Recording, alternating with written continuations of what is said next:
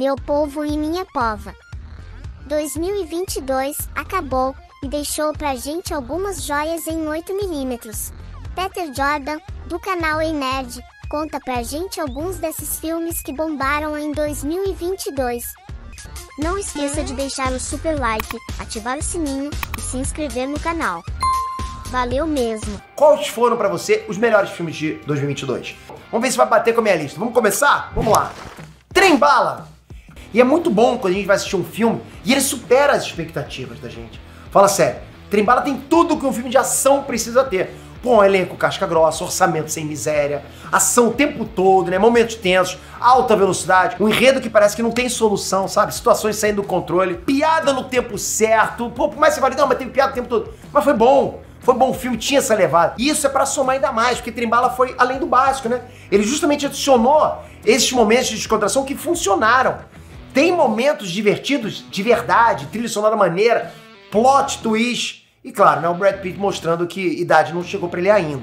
Sonic 2. Esse aqui valeu ingresso fácil. Tipo, que coisa, né, galera? É raríssimo a gente vir aqui poder falar que, sei lá, com empolgação sobre o filme adaptado de game. Filme adaptado de game, a gente sabe que é aquela maldição. Esse eu assisti com gosto, já tinha gostado um. Pô, esse eu gostei pra caraca. Os críticos não curtiram Sonic 2, mas a gente já tá vacinado contra isso, contra crítico que não curtiram. Todo mundo já sabe que a opinião de crítico quase nunca bate com a nossa, normal. Os caras vão ver outras, vão ver outros detalhes, gente não consegue enxergar. Os caras enxergam muito mais, né? Pô, ainda mais do que qualquer um enxerga. Sonic 2 foi bonito, foi divertido pra caramba, empolgou, teve emoção, teve nostalgia. Isso tudo deu certo porque ele tem um detalhe básico ele foi feito pros fãs. Sonic 2 não foi feito para crítico. Olha, essa mensagem pode ser subliminar, espero que você capte o que eu quero dizer, ok? Não foi feito para crítico, né? Foi feito pros fãs. Para mim, Sonic 2 é fácil, uma das melhores, se não a melhor adaptação de game pro cinema. E ele provou que quando eles querem fazer certinho, dá pra mandar bem. É por isso que, na minha opinião, esse filme conseguiu uma proeza que poucos conseguiram em Hollywood, que é fazer um filme 2 melhor que o primeiro. Bom, e por ter acertado tanto, tá aí Sonic 2 na minha lista. Ele tá na sua também? Tô curioso. Não foi tão ruim.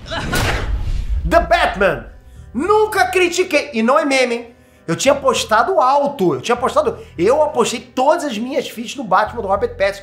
Quem me acompanha das antigas sabe disso. Tava rindo da minha cara. É crepúsculo. Então eu falei, pô, cara, eu acho que esse cara vai mandar bem. Eu tava torcendo muito pra esse filme dar certo. E deu. The Batman foi tudo o que precisava ser. Foi sombrio, teve ação, teve mistério, teve intriga, teve lutas boas pra caramba, teve perseguições, teve até um toque filosófico que tem que ter no Batman, é normal. O que, que foi aquela cena do Batmóvel? Sério. Não que o Batman precisasse ser revigorado no cinema, já. Tudo que saiu do Batman nas últimas décadas foi sensacional. Tipo, o Batman sempre tem bons filmes, mas The Batman de 2022 trouxe um novo olhar, sabe? Uma época diferente. Foi bom demais. Aquela Gotham City maravilhosa. O Batman. O Batman, não, não Bruce Wayne, mas o Batman que Batman foi aquele com aquela olhada de lado? Eu achei espetacular. Talvez o melhor Batman de todos os tempos. Do Batman em si, ok? Não estou comparando com Christian Bale. Christian Bale foi um completo Batman bom, né? Era Bruce Wayne, era Batman bom. Mas esse Robert Pattinson é um Batman espetacular. Quem saiu ganhando foram os fãs. The Batman surpreendeu, empolgou e deixou a gente com vontade de ver mais e mais filmes desse Batman. Dessa época, né? Enfim, eu saí do cinema empolgadaço. Você? Não esqueça de deixar o super like, ativar o sininho e se inscrever no canal. Valeu mesmo!